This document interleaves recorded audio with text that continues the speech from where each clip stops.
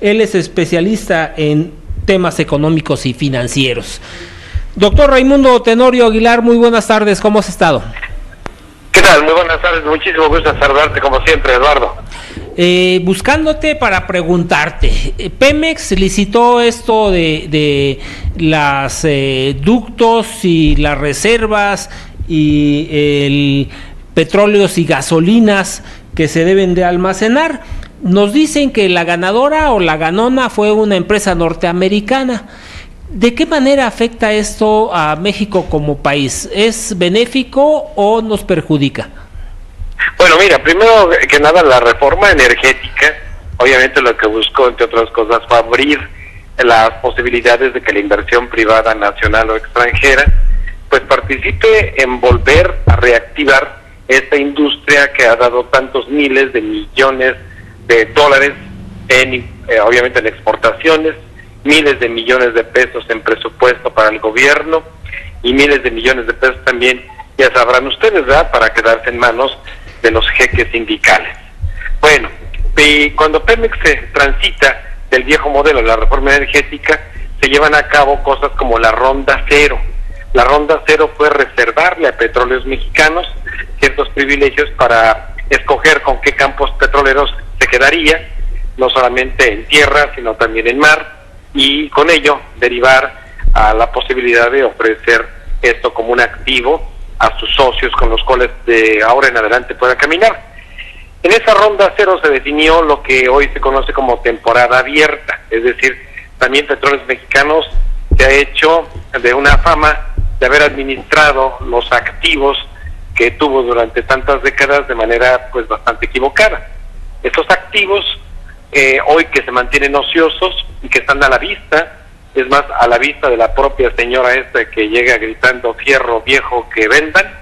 algo así, a lo mejor estoy desde luego exagerando la nota, pero son activos, al final de cuentas, que están ahí ociosos, que ya no producen más que lástima, algunos de ellos, y otros que sí le interesan a la iniciativa privada, porque todavía hay alguna posibilidad de sacarle jugo, eh, tanto en ingresos como en ganancias. Esa temporada abierta, bueno, pues se abrió también a concursantes nacionales y extranjeros,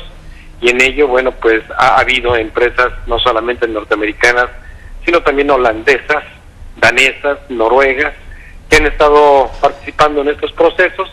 y que van a aprovechar estos activos ociosos, como repito, para recuperar la inversión que haga que hagan con obviamente ganancias que puedan redituarles eh, de acuerdo a sus parámetros eh, obviamente técnicos. Así que pues Petróleos Mexicanos eh, terminará a final de cuentas de descapitalizarse en el sentido de vender activos obviamente ociosos y no ociosos a inversionistas de todo tipo y veremos hacia el final del año 2020 según mis cálculos que sigue existiendo petróleos mexicanos en el mercado pero como una de las empresas más chicas del espectro de la industria petrolera en México. Doctor Raimundo Tenorio, en, en términos estratégicos, ¿no se corre mucho riesgo al poner en manos de extranjeros el abasto de combustibles en México? Ah, no, claro que sí, sí, sí, sí se corre ese riesgo no solamente de carácter estratégico, sino también de soberanía, aunque también rasgarse las vestiduras por el concepto de soberanía pues también me parece una categoría equivocada porque eso nos costó justamente tantas ineficiencias y convertirse pues obviamente en una cuna de, de, lobos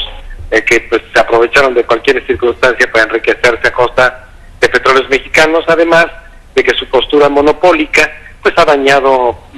por demás a la vista también a nosotros, a los consumidores. Así que eh, pues sí, sí, cierto, nos puede obviamente ser, hacer vulnerables a las decisiones de inversores extranjeros, pero creo que la participación de inversores nacionales también en estos procesos puede generar un mercado competitivo, tanto para las tres partes, desde, desde extracción, producción y comercialización, y entonces pues aspirar a que nosotros justamente como consumidores soberanos, inteligentes e informados, pues podamos obviamente también eh, ver lo mejor para nuestros bolsillos y denunciar ante autoridades que hoy, como la Comisión Federal de Competencia Económica, pueden eh, procurar nuestro bienestar. Bueno, pues ahí tenemos el análisis y los comentarios del doctor Raimundo Tenorio al respecto de, de esta licitación que hiciera Pemex para adjudicar a esta empresa Tesoro, que yo diría que se llevaron el tesoro los norteamericanos porque sí, de alguna manera van a poner en un vilo a la economía nacional en caso de que a Donald Trump se le ocurra pedirle a las empresas norteamericanas Nada más imagínese que nos dejen sin abasto de combustible. Doctor Raimundo Tenorio, te agradezco mucho el análisis y los comentarios. A contrario, como siempre, un gusto saludarlos y hasta la próxima. Doctor Raimundo Tenorio Aguilar, director de Economía y Finanzas en el Instituto Tecnológico de Estudios Superiores de Monterrey, en el campus Santa Fe.